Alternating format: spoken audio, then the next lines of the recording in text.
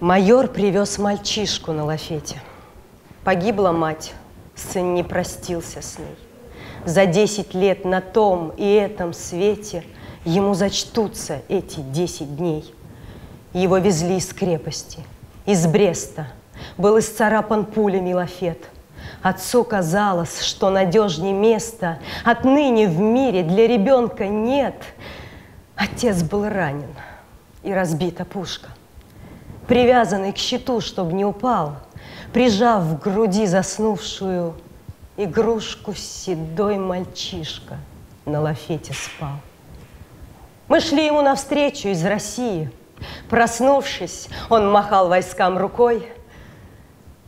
Ты говоришь, что есть еще другие, что я там был, и мне пора домой.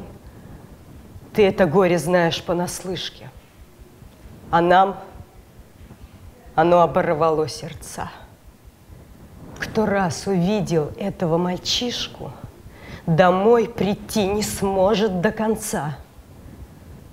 Я должен видеть теми же глазами, которыми я плакал там, в пыли, как тот мальчишка возвратится с нами и поцелует горсть своей земли за все, что мы с тобой дорожили, призвал нас к бою воинский закон – Теперь мой дом не там, где прежде жили, а там, где отнят у мальчишки он.